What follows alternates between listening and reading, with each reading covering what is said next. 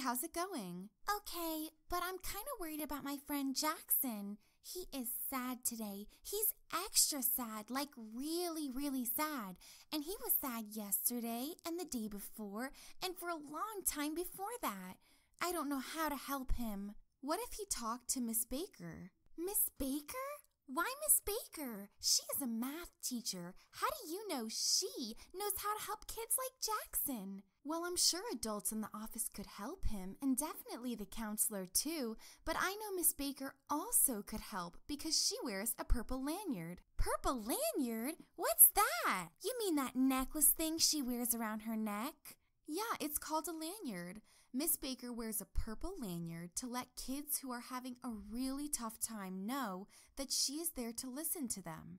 She went through some special training or something to help kids who have been sad for a really long time.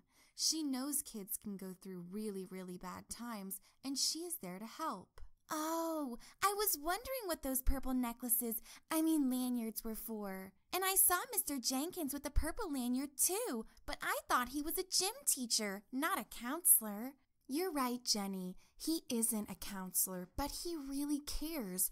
And Mr. Jenkins also took a class to learn about how to help kids who feel really, really mad or really, really sad. And Mrs. Murray and Mr. Smith too? Wow, there's a lot of them around.